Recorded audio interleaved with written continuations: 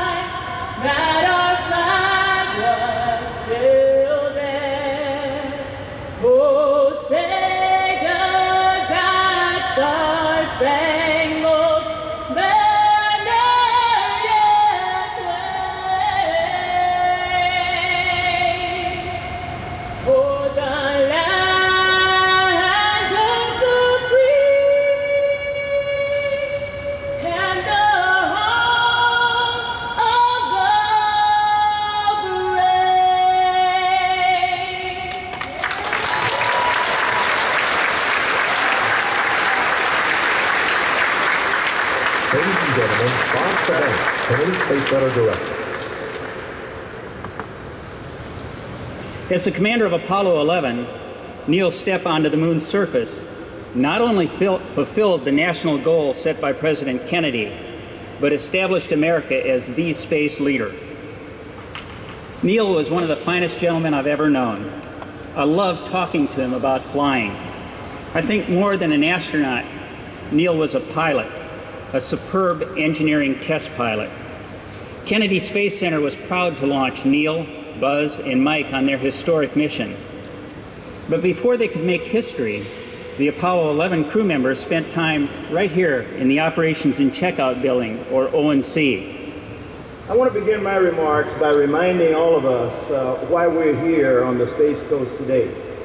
45 years ago, NASA's journey to land the first humans on the moon began right here at the Kennedy Space Center. NASA astronauts, beginning with the Mercury 7 and continuing through Gemini and Apollo years, blasted off from these storied shores. For 30 years, the unprecedented success of our space shuttle program was made possible by you, the men and women of the Kennedy Space Center. So today, we have come home to commemorate what is arguably the most significant event in the history of human exploration, the Apollo 11 moon landing of July 20th, 1969. We're very fortunate to have with us two of the members of that historic mission, Buzz Aldrin and Mike Collins, as Well, Swanee, I wasn't alive when Apollo 11 set foot on the moon.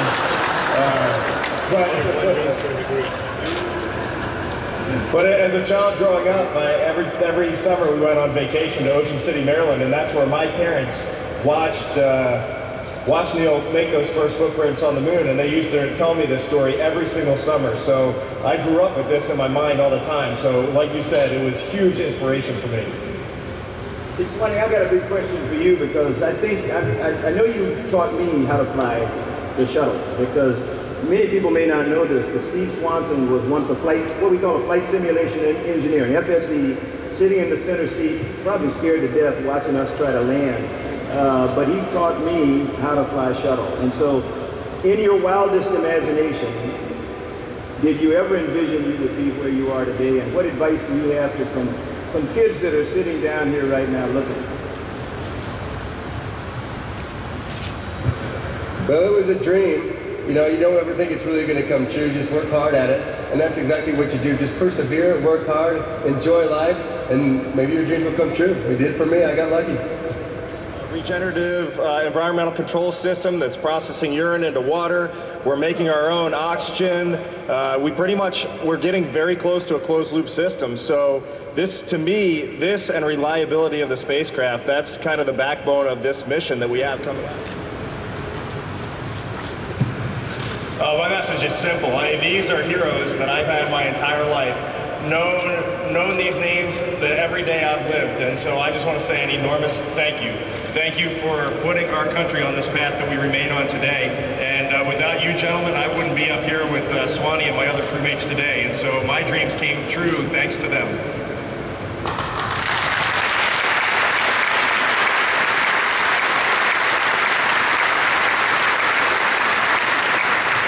You guys just keep doing a great job up, up there. This is KSC out.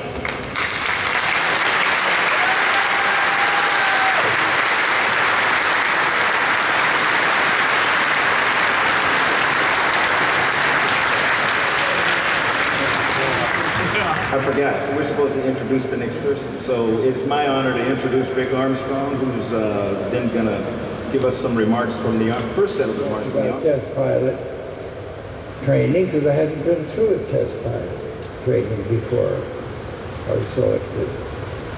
But then I commanded uh, the test pilot school afterward, not exactly what I wanted, but I learned what test pilots were all about. And that man, without a doubt, was one of the best, certainly the best test pilot I feel that was selected for the NASA program. I always, I hate to always point things that are wrong, but in your program it says, my name is Edwin, quote, Buzz Aldrin Jr. In 1903, 1983, I legally changed it.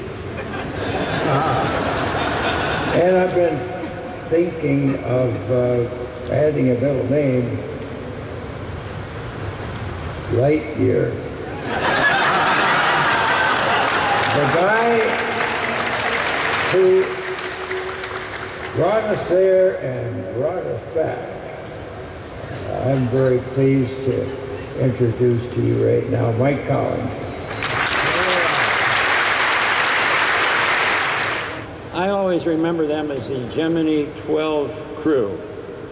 The capstone of that little gem of a program that you guys ran out on uh, Pad 19.